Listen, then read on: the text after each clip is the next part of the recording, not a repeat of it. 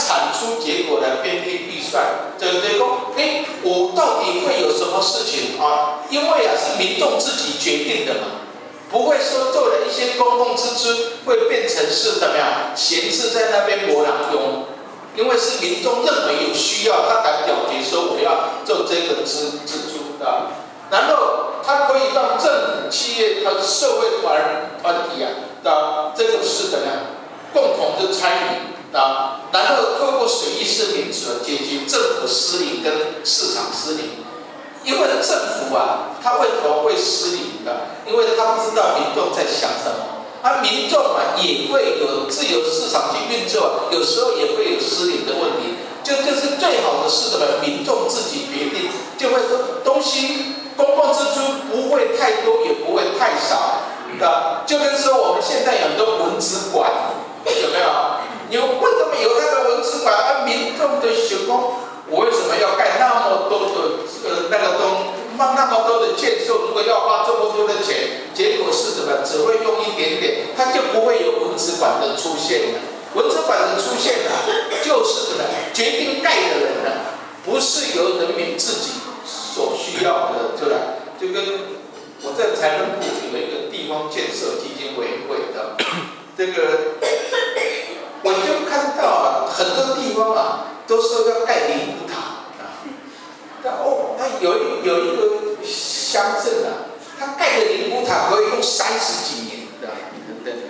嗯，那我就想到，我我后来后来报纸登了，说因为她的男朋友搞建设公司的，啊那个灵骨塔盖了以后就会有工程包的这个称称。我我们陈兄知道我在讲谁，然后对对，啊就盖盖那个灵骨塔，盖盖的好大，啊我在那个委会，我就跟那个主席说，这个案子哦，不要说不可以，说我们再详细，就没有通过的，啊啊就没到，后来他也在那个一周刊也就报道，哦出出了事，结果啊，因为我当那个委委员会的时候，因都想盖灵骨塔，结果台湾的灵骨塔的数量以前现在比人口还多。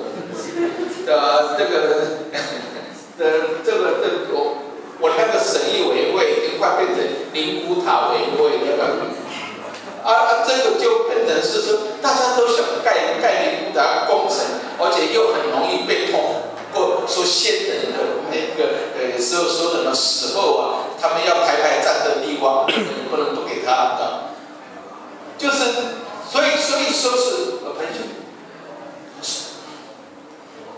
所以说，这个参与式预算有一个情况，就是能够让民众有成本概念，就像我刚才所讲的，这女人管钱有没有？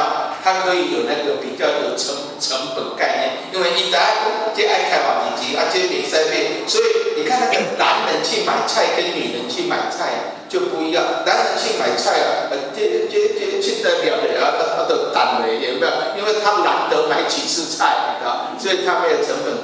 女生去买菜啊，她就会很斤斤计较，因为她有成本概念。还有他会知道，呃啊，这个这一根葱怎么会怎么样那么贵的？啊，买一个萝卜就会叫他要送，一定要送一根葱。那男生不会的啦，男男生不会的啦。这个这个效果的话，去买了以后我要跑去去买葱。啊啊，五天跟我他说你买的这个你这个葱为什么这么好？我说我自己买的。他说啊，葱还要钱，他买菜都的葱都不必要要钱，所以他的葱会比较差一点。这个这个就会是什么？这个会有成本概念，避免财政幻觉，也避免那个会会什么公共支出啊超量，结果造成赤赤字的负担的一个增加啊。怎么去参与？这个是我草拟的，这个可以给大家来讨论的。那这个讨论的时候，这个是到底怎么来决定？就是说第一个，谁可以参与？有些事情是不是每个人都要参与？有些事情事实上村民是不是都可以参与的？这个我们可以来讨讨论哪些公共支出项目可以被讨论讨论的？不是每一个公共支出我们都要参与的。就就跟我刚才讲的，有些法定义务支支出啊，啊，我们只要大方向去讨论。事实上，我们可以不必去讨论的，啊，另外一个，我们可以参与的项目是多少？它的过程是怎么样？最后是怎么决定的？最后是怎么决定的？在我们这里有个特别要注意的，各位可以放在心上。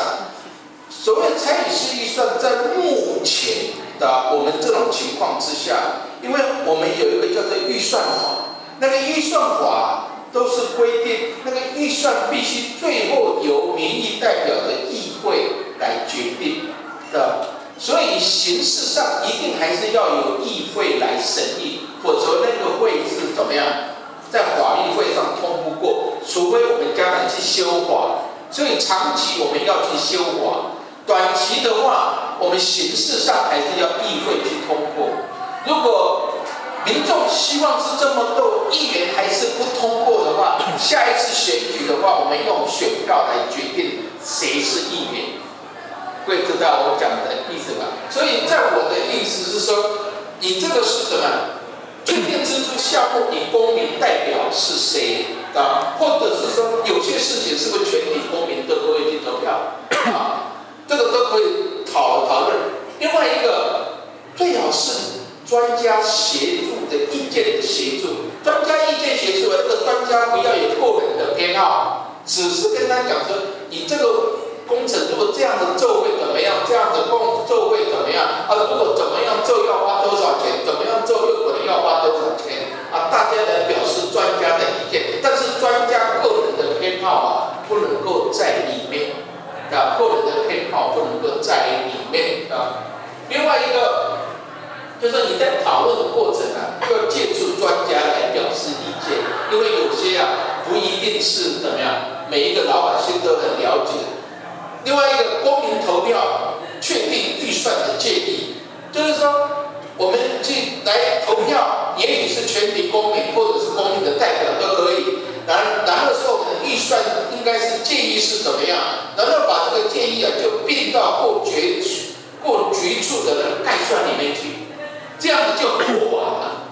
目前的法律的预算法都可以去合法，因为他们现在是说，哎，你的预算一定要概算的，根据预预算法的规定的，所有的支出都要在概算，那概算是由过行政单位提出来呀。啊，然后要经过议会通过啊，你怎么拿一部分的钱去让人民表决？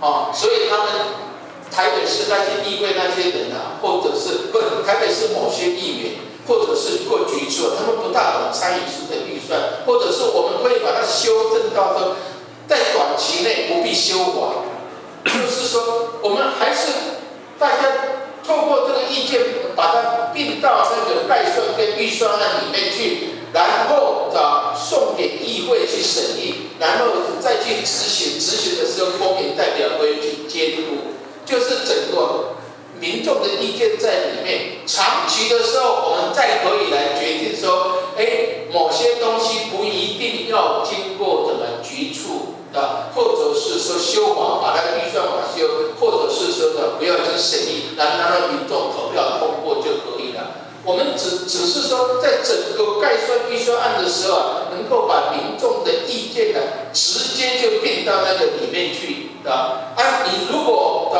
好，我民众大部分的民众都这么去要的话，你这个行政首长，就像市长啊或者镇镇长啊，你不把它编在里面的话，啊大家下次选举就就是怎么样见面啊，就来决定。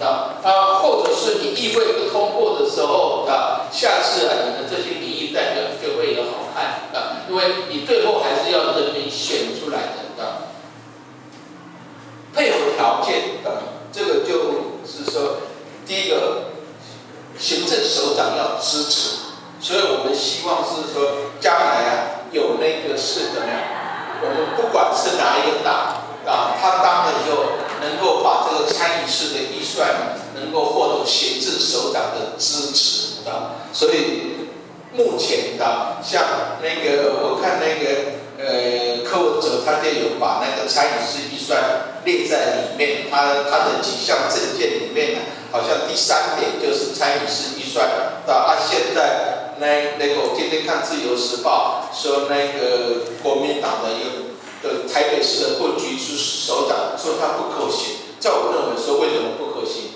啊，就就是说我也不必去修法，我就可以让他民众的意见在里面。第二个就是有良好的社区组织及社会运动的网络，公民参与意愿高。我觉得最近一两年的整个政治情势啊。这个社区组织、社会运动网络、公民参与意愿，在台湾已经逐渐形成。各位要注意到，你任何啊，你刚的话、安的话，最后就是说，我的缴缴的税，我要做什么，我能够决定的，这个是最重要的。因为就跟一个在一个家庭里面嘛，各位小姐要特别注意，将来管了钱，就管了一切。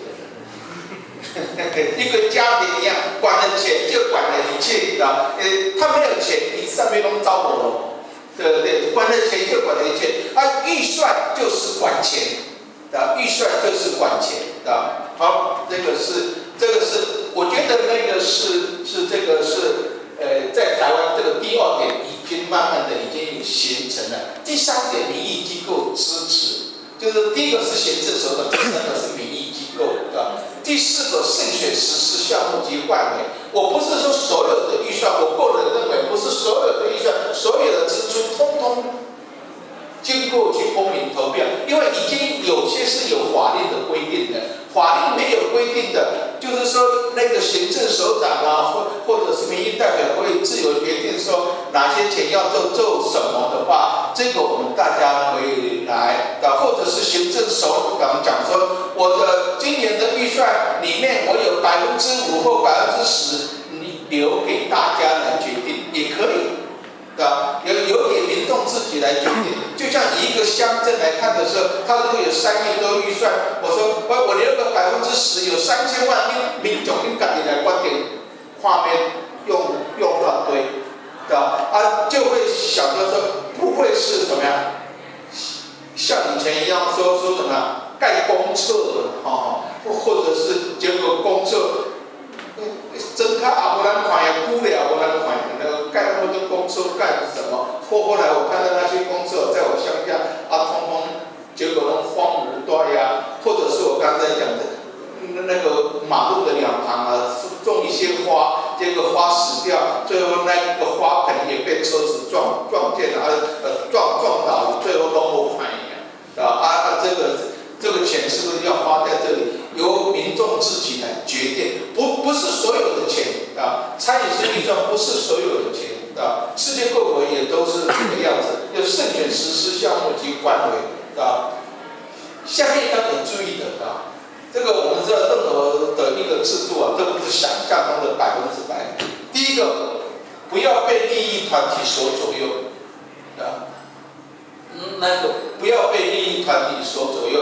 卖光，有些那个工程被那些是什么？那些工程的那些施工单位啊，讲说怎么样好，怎么样好，啊，不要被利益团体左右。第二个，不要团队盲从，啊，也不要多数暴力以及草率决定，啊，这，因为有些人说讨论规模要啊，青菜要好贵啊，安尼安尼，啊，这个也也不要，啊，不不要草率决定。另外一个就是资讯充足偏差，所谓偏差就是说不要有不适当的资讯的，那个资讯是恰当的，而且资讯的解读啊，能够专家会跟你解释啊，就像是说，好，有一个到底要治水，要做那个怎怎么样，把水沟清的好好的，还是干脆像那个李宏伟讲的，我们干脆做沼泽地，做那个湿地。啊，啊，有些地方啊，都是按摩阴嘛，啊，按按你那个有有时候反而是比较好的，啊，就就是做沼泽地、湿地，并不是说每一个水那一个什么水的地方都要把那个水排排放出去。你你也可能是做湿地比较好，啊，大家来决定，这到底做湿地比较好，还是说一定要把水啊做水沟排出去？啊，水沟排出去，万一啊水量太大的时候，它还排排不出去，啊，阴的哦阴了的人的，啊，这个是，所以所以像。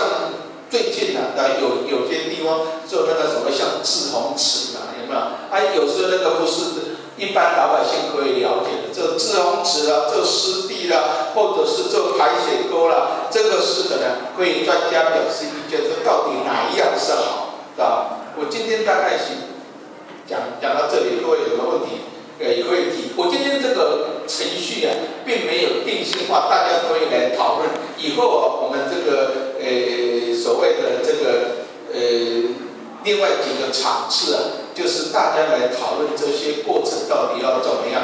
最后我们可能是说拟出一个的一个所谓的一个说，大家认为说哪一种方式的参与式预算比较适合台湾啊？这个我们在整个过程中，大家可以充分的讨论啊。